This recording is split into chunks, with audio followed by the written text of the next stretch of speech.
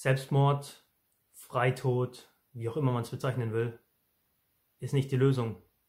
Und wenn du mit diesen Gedanken spielst oder wenn du spürst, dass das Leben keinen Sinn mehr hat, keinen Zweck mehr hat, wenn du ja, einfach keine Lust mehr hast auf irgendwas, dann ist das Video für dich. Und es kommt von Herzen, weil ich dieses Ganze schon erlebt habe. Daher schau dir gerne dieses Video an. Ähm, like es, like es auch nicht. Abonniere meinen Kanal, wenn du mehr zum Thema Persönlichkeitsentwicklung und Geschäftsentwicklung hören willst. Und setze eine Glocke drunter, wenn du in Zukunft alarmiert werden willst bei Neuerscheinungen, die aktuell täglich kommen. Ja, was ist, was sind, was bringt dich dazu, wieder in Lebensfreude zu kommen, wenn du keinen Ausweg mehr siehst, wenn es darum geht, dass du eigentlich nicht mehr weißt, wo es hingehen soll, wenn du nichts mehr verstehst, was um dich herum passiert, wenn du auch nicht mehr verstehst, was in dir passiert, du absolut den, diese Verbindung zu deinem Herzen verloren hast, du hast keine Gefühle mehr, dann bist du sicherlich auf dem falschen, auf dem falschen Weg. Warum ist das Ganze so, so passiert und warum habe ich es auch aus meiner Sicht so erlebt, ist, weil ich immer was für andere gemacht habe. Ich habe mich nie damit wohlgefühlt, hundertprozentig, was, was ich getan habe.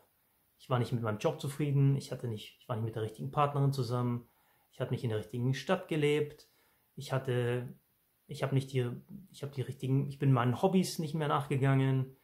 Ich habe alles getan, dass ich nur noch im Funktionieren bin, habe mich auch zugeballert mit Alkohol, mit Medikamenten, mit was auch immer, damit ich alles, alle Symptome, die mir, die mir mein Körper angezeigt hat, warum ich den falschen Weg gehe, habe ich einfach unterdrückt. Alles habe ich ignoriert. Ich habe meine eigene, mein eigenes Ich, mein inneres Kind, habe ich abgekoppelt von mir. Ich bin nicht mehr in der Freude gewesen, weil ich mir eingeredet habe, Freude, Spaß am Tun, Lachen ist was für Kinder das gehört nicht, in der Erwachsenenwelt macht man das halt nicht mehr. Und was hat, das, hat es, was hat es dazu, was hat es, was hat es geführt? Es hat dazu geführt, dass ich davor war. Ich war im 19. Stock in meinem Büro in La Défense in Paris und dachte mir, wie komme ich jetzt durch die Scheibe durch? Was kann ich tun, damit diese ganze, diese ganze Tragödie, diese ganze Schlamassel, diese Misere, dass die ein Ende hat?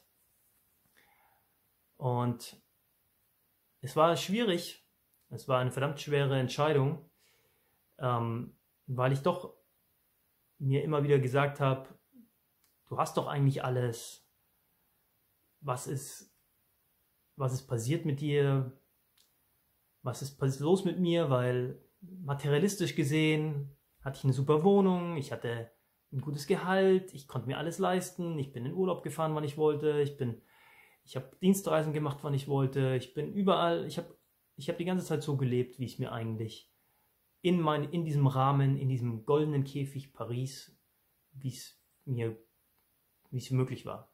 Ich habe es ausgekostet. Ich habe es ausgenutzt auch, diese Situation. Allerdings war es immer noch nicht meins. Und meine Frau hat mir gesagt, du hast doch alles. Was willst du denn noch mehr? Du kannst doch, du kannst doch nicht noch mehr haben. Ich, ich habe nicht alles. Ich habe nicht nur, ich habe nur, ich habe, ich habe vielleicht alles aus deiner Sicht und ich führe aus deiner, in deiner Welt ein glückliches Leben, aber ich bin nicht mehr bei mir. Ich war, ich habe alles, aber auch nichts. Ich habe, weil ich, weil ich mich verloren habe. Ich habe mich vergessen. Und wenn du das kennst, dann bist du, denke ich mal, sicher nicht alleine. Dieses Video hat mich motiviert, weil die Weihnachtszeit ist, weil in der Weihnachtszeit die Selbstmordrate am größten ist, weil die Menschen, die alleine leben, und sich jetzt speziell in dieser Zeit auch nicht mit anderen treffen können, denen geht es noch schlechter. Und der einzige Weg, der sich für mich offenbart hat, die Lösung zu sein, ist wieder zurückzufinden in mich zu mir, zu sagen, es gibt noch einen Ausweg, es gibt noch eine Möglichkeit, es gibt Lösungen, es irgendwo ist noch ein Lichtblick.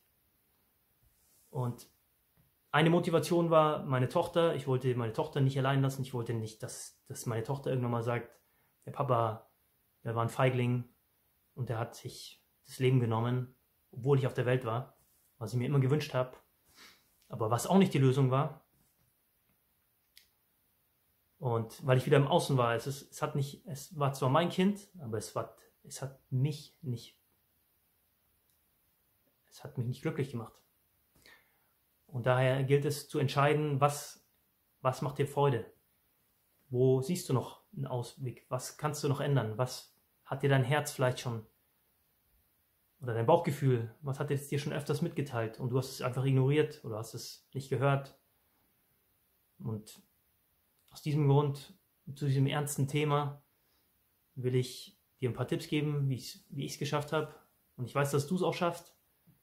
Und ich weiß, dass wenn du dir wenn dir dein Leben was wert ist, wenn, dir, wenn du noch nur eine Kleinigkeit findest, die dich am Leben hält, die dir Spaß macht, dann mach, geh weiter drauf.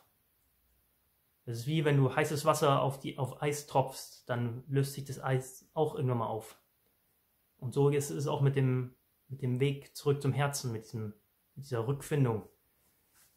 Du findest eine Möglichkeit, wie du wieder diesen Tropfen Hoffnung auf dich drauf tröpfelst und daraus wieder was Wunderbares entstehen kann. Und dieses, diese Eisschicht, die sich da gebildet hat, weil du zu kühl geworden bist.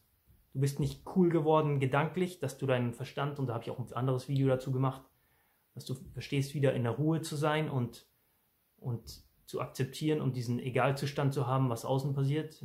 Aber dafür gilt es erstmal, dich zu finden. Und da gebe ich dir jetzt ein paar Tipps. Und zwar teile ich die in drei Bereiche ein. Zum einen ist es das Körperliche. Was mir wahnsinnig geholfen hat, ist, wieder den, die Verbindung zu meinem Körper zu finden, wieder eine körperliche Wahrnehmung zu bekommen. Und dafür war es für mich ganz wichtig, dass ich wegkomme von alle möglichen Art von Drogen. Sei es Alkohol, Medikamente, was auch, was auch immer, was auch immer du nimmst. Lass die Finger davon werd wieder, werd wieder rein. Lass es, lass dein, gib, gib deinem Körper die, die Kraft, sich selber zu regenerieren und für sich da zu sein. Dann ganz wichtig auch die Ernährung. Schau, dass du was zu dir nimmst, was dir gut tut. Den Fleischkonsum vielleicht runterdrehen, Zucker runterdrehen, runterfahren und dann das zu essen, was dir auch gut tut, wo du, wo du dich gut dabei fühlst, was dich nicht runterzieht was sich, was sie nicht belastet. Und zu guter Letzt auch in Bewegung zu kommen. In Bewegung zu kommen, sprich, dass du den Stress abbaust, die Ängste abbaust, diese Hoffnungslosigkeit loswirst, indem du wieder kleine Dinge auch wahrnimmst, in der Natur vielleicht. Werde wieder die Dinge bewusst um dich rum. Das passiert aber nur, wenn du dich bewegst. Änder mal deine, änder mal dein Umfeld. Sitz nicht immer zu Hause, sitz nicht immer im Büro, geh mal, geh mal raus. Ähm, Schau dir an, was, was, die Natur, was die Tierwelt, die Pflanzenwelt zu bieten hat. Und erfreue dich wieder an diesen, an diesen kleinen Dingen, die notwendig sind, auch dass, dass wir Menschen überleben dürfen. Und das zweite ist der Geist. Wie, was fütterst du in deinen Geist? Mach dir mal Gedanken und mach dir mal auch eine, ein Inventar, was in, deinem, was in deinem Kopf los ist. Hast du eher Negatives? Machst du dir Gedanken über negative Sachen? Davon gehe ich mal aus, sonst würdest du dir das Video nicht anschauen. Und was sind die positiven Gedanken? Wie kannst du da ein Übergewicht an positiven Dingen schaffen und die negativen loswerden? Was, was stimmt dich auch negativ? Sind das negative Nachrichten? Sind das negative Schlagzeilen? Sind das Filme, die dich oder Medien, die du konsumierst, die dich auch nicht in eine bessere Stimmung bringen, die dich runterziehen, die dich traurig machen? Schau dir das an und versuch sie durch positive Dinge, durch erfreuliche Sachen zu ersetzen. Und es gibt immer erfreuliche Sachen und die Wahl hast du, was du willst. Und bei den Menschen ist es genau das Gleiche. Schau dir an, welche Menschen dir gut tun, welche dir nicht gut tun. Welche Umgebung ist, der, ist für dich gut? Ist vielleicht, hat deine Wohnung vielleicht eine schlechte, einen schlechten Einfluss auf dich? Oder dein, dein Büro, deine, deine Arbeit? Es gibt auch andere Jobs. Du kannst dich auch selbstständig machen. Du kannst mittlerweile mit allem im Internet Geld verdienen, was es nur gibt. Und mach dich auf den Weg auf die Lösungssuche und fokussiere dich nicht zu sehr auf die Probleme, sondern sag dir, es gibt eine Lösung. ich kann mich kontrollieren. Ich weiß, dass wenn ich an mir, bei mir anfange zu arbeiten und mir wirklich bewusste Gedanken mache, was ist, was könnte eine Lösung sein, die mich wieder rauszieht, die mich wieder in die Lebensfreude bringt. Und du bist fest davon überzeugt davon, dass es, dass es, noch, dass es noch diesen Ausweg gibt, dann schau ihn dir an. Kümmere dich darum. Und als dritter Punkt ist das Seelische. Was, was sind Dinge, die du tagsüber machst? Was sind Dinge, die du auch früher gemacht hast in deiner Kindheit, die dich mit Freude erfüllt haben, die, die, die dir Spaß gebracht haben?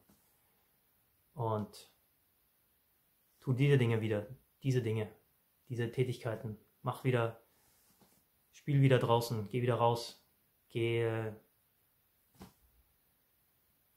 geh mit Freunden, wenn auch immer die, ob sie dich mit dir treffen wollen, ist die Frage. Äh, momentan in der Zeit.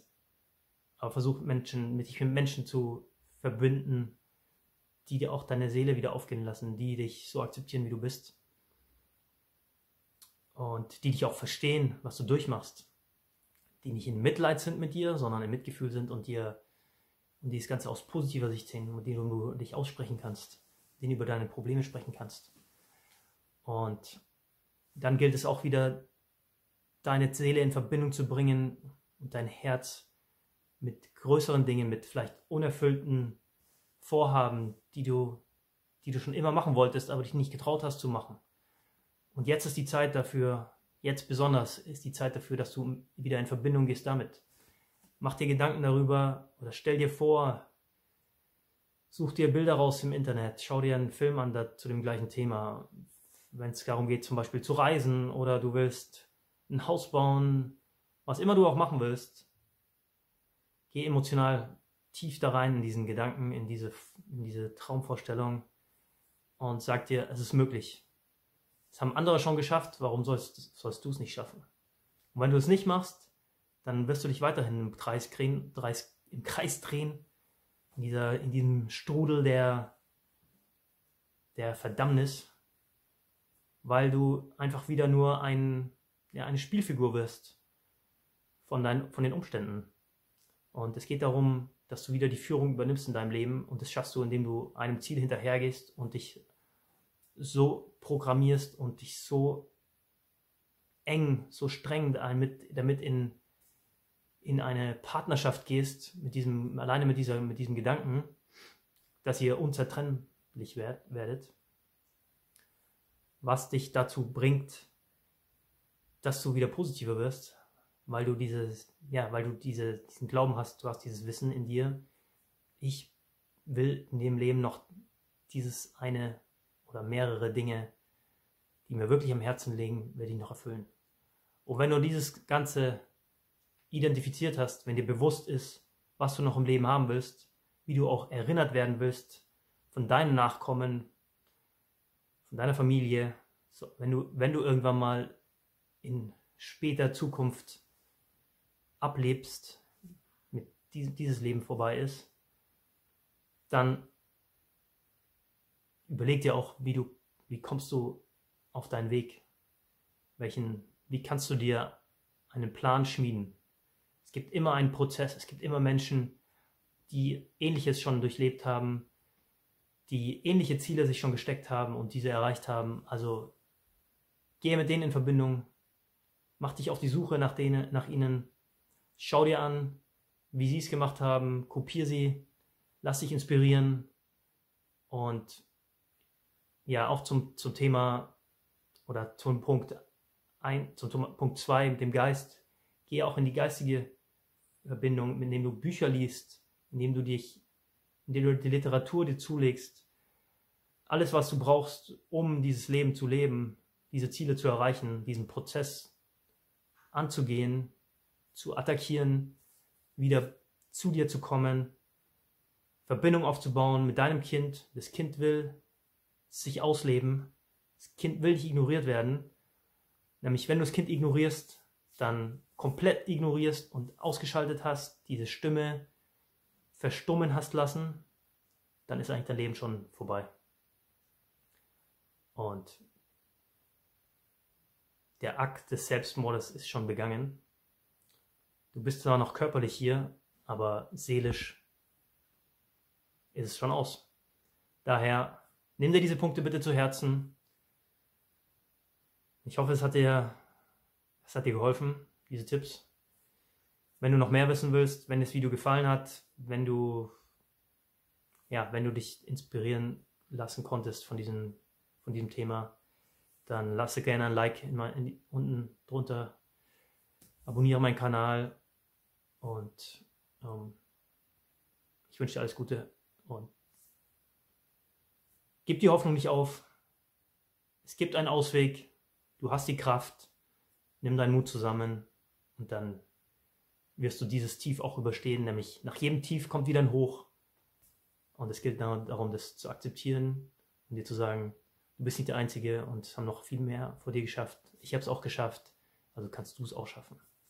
In dem Sinne wünsche ich dir viel Kraft. Bis dann.